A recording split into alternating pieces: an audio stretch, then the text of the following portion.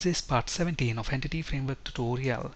In this video, we'll discuss self-referencing association entity framework with code first approach. This is continuation to part 16. In part 16, we discussed self-referencing association with database first approach. In this video, we'll be modifying the example that we worked with in part 16. So please watch part 16 before proceeding. Now, Based on this employee class, we want the entity framework to be able to generate this employees table. Look at the names of the columns that we have got here. Employee ID, employee name, manager ID. Employee ID is the primary key column and manager ID is the foreign key column. Now, to get the manager of a given employee, we take the manager ID column value and look up that value in the employee ID column of the same table. So this is a self-referencing employees table and we want the entity framework to be able to generate this self-referencing table based on this employee class. And that's the reason why we have these three scalar properties with the same name as that of these column names. So employee ID, employee name, manager ID. And in addition to these scalar properties, we also have this manager navigation property. Look at what this property is returning employee. That's because the manager of an employee is also an employee and for the entity framework to be able to generate this self-referencing employees table based on this employee class we need to override on model creating method. And this is where we programmatically specify the self-referencing association. Before we examine the code that we have here let's look at the example that we worked with in part 16 now we were able to generate the self-referencing employee entity based on the database table okay? And if you look at this entity we have got two navigation properties here. One is called subordinates. And if you look at the properties of this navigation property notice the multiplicity here is many. Okay?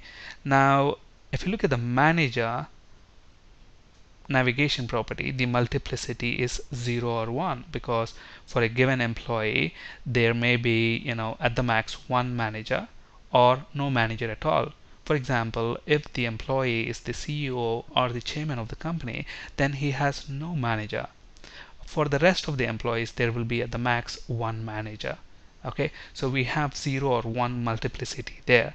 And to achieve that 0 or 1 multiplicity, look at that, we are using this has optional method and we are saying e dot manager, you know, that navigation property.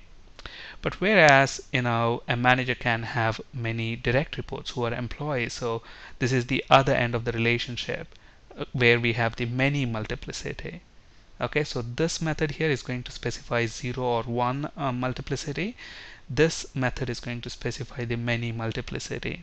And we want the manager ID property to be the foreign key. So we are specifying that using has foreign key. It's that simple. And we want all this to be affected on employee entity okay so let's look at this in action so let's flip to Visual Studio so this is the same example that we worked with in the previous session we don't need this employee model anymore which we have generated from the database so let's delete that and from the web.config file we can get rid of this connection string and to this project let's go ahead and add a class file and let's name it employee.cs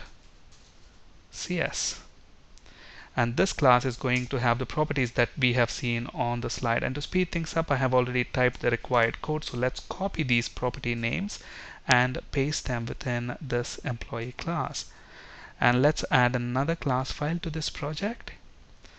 And let's call this employee db context.cs and we want system.data.entity namespace. And let's make this class inherit from the db context class. And this class is going to have a public property which is going to return db set of employee. And let's call the property employees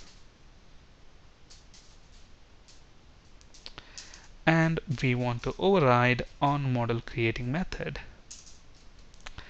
and this is where we paste the code that we have seen on the slide so this is the code that specifies the self-referencing association programmatically.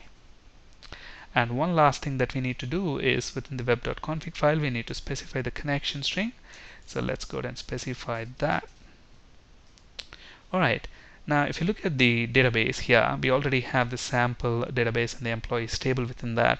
So let's go ahead and delete the sample database. And now when we run this web form 1, uh, we should have the sample database and employees table created. Now within the previous session we discussed this code you know this code is basically going to display the names of the employees and their respective manager names. So the ASPX and its code behind file is not going to change in any way. So let's go ahead and run this. So it should automatically create the sample database and we should also get that employees table created. So the web form is still loading. So it's trying to create the sample database and employees table.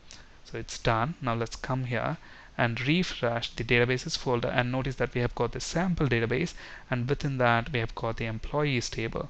And if you look at the columns we have got employee ID, employee name, manager ID employee ID is the primary key column manager ID is the foreign key column. Now at the moment this table will not have any data. That's the reason why it's not displaying anything on the web form. So let's execute this insert script. So it should have inserted some data there Let's reload this web form and notice that we get the same output. In this video we have seen how to achieve self-referencing association with code first approach. That's it for today. Thank you for listening. Have a great day.